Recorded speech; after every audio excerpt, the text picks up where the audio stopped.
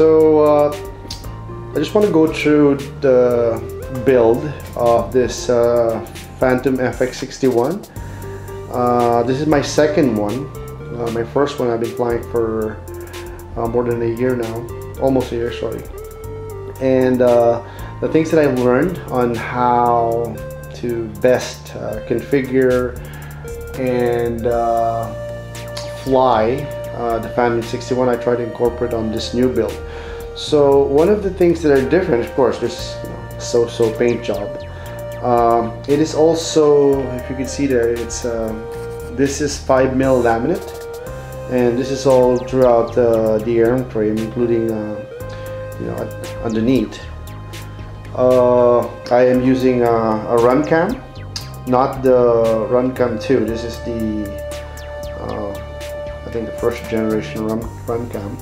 I'm using this as a flight camera and uh, my uh, HD camera. So they said that uh, you know to lower the latency, uh, you have to configure it at 720. I'm running this at 1080, and I just uh, I just flew it uh, earlier today, and you know for a fixed wing, unless you're maybe doing some crazy aerobatics it is fine. I mean, I don't really feel uh, the latency when I was uh, up in the air.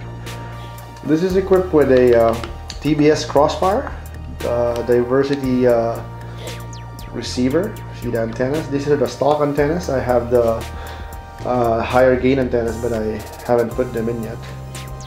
Uh, GPS, I am using a Eagle Tree Vector on this setup and uh, it's 1.3 600 milliwatt uh, VTX with a uh, Bluebeam uh, antenna.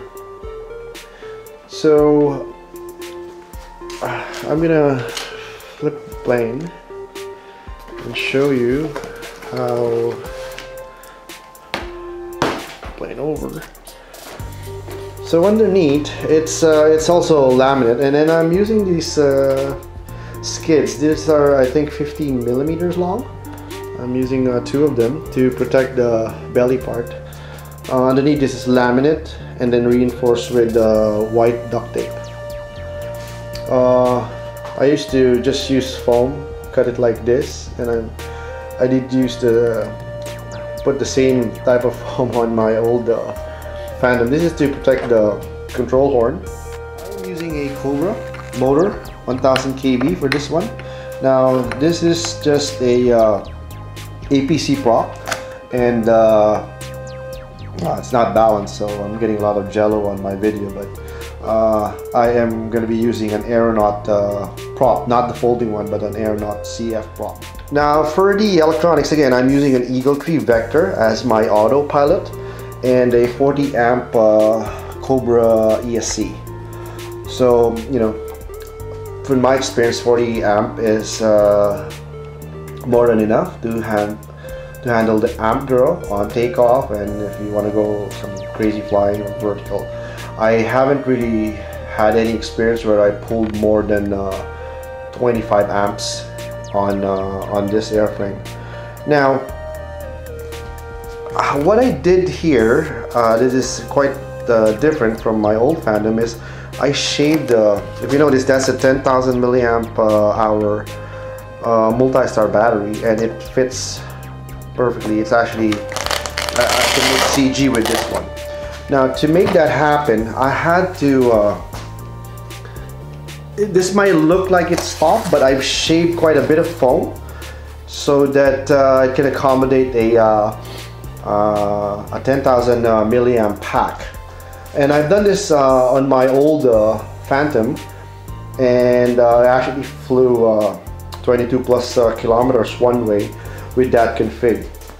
I've also uh, used two 58 100 milliamp hour 3S packs and was able to fit them in the space.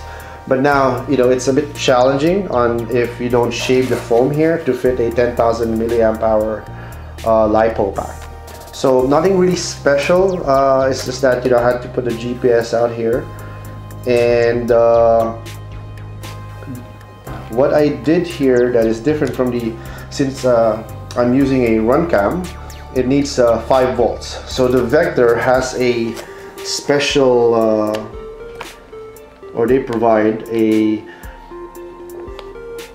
uh, what do you call this uh, a JST uh, plug that is 5 volts.